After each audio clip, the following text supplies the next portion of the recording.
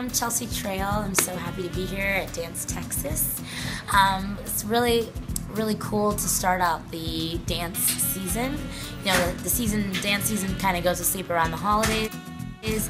So I was really excited uh, when Lori Woods told me about this opportunity to come out here and teach um, for all the students. I obviously uh, love supporting Texas dancers because I am a Texas dancer. I'm from Flower Mound, Texas. Um, and I just really appreciated and I was so hungry for classes like this when I was still living in Dallas before I moved to LA.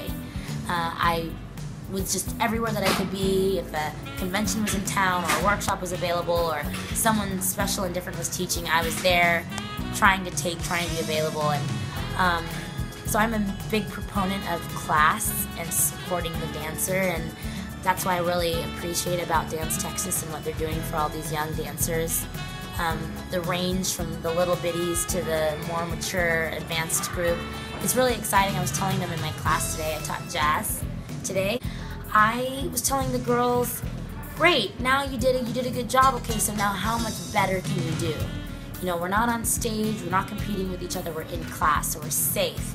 So instead of just resting on good enough, let's see how, how far we can push ourselves. So I was um, yelling that at the girls today. I was excited. Everyone was pushing each other, and people were cheering and clapping for each other. And it's such a positive, beautiful environment to be a part of. And class and workshops like this are so so, so valuable to the young dancer, even if they don't want to be professional dancers. These are qualities and training that you take on with you for, for on into whatever career you pursue. So, um, yeah, I hope I get to come back next year and the year after and the year after.